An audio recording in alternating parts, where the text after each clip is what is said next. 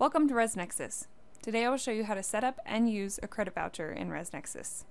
To get started, go to Settings in your ResNexus system. Click on Gift Certificates under General Settings.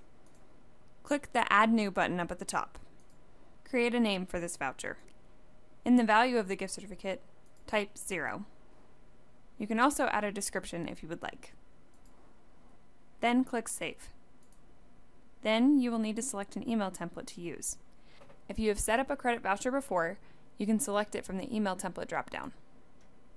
If not, click on New to add a new one. Click on the Library button.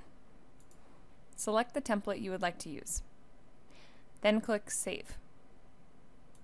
Click Save at the bottom of the template design. Then go back to the gift certificate template you created by going to Settings, then Gift Certificates, and selecting that gift certificate.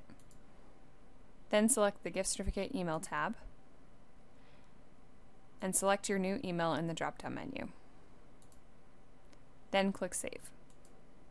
You are now ready to use the credit voucher on a reservation.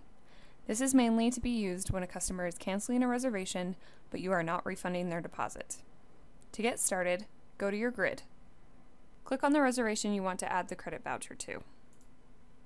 Click on the Cancel tab in the right-hand menu Check the box to cancel this reservation. You can enter a reason for canceling if you would like. Enter your initials. Then scroll down to the bottom and click Save. If there is a deposit on the reservation, it will give you a warning at the bottom of this page. If you would like to charge a cancellation fee that will be subtracted from the voucher, you will want to go and add that retail item at this point. You can do so by clicking on the Retail tab on the right hand side, click the Add button, Select the cancellation fee.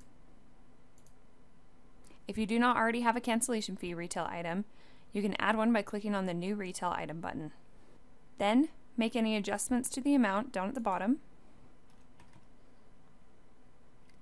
Then click Save. Now you can come check your remaining balance on the Payment tab to see how much to include on the credit voucher.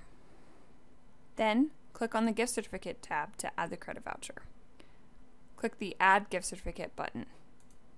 Then select the credit voucher you created in the drop-down menu. Enter in the remaining balance on the reservation that you're going to give them as a credit.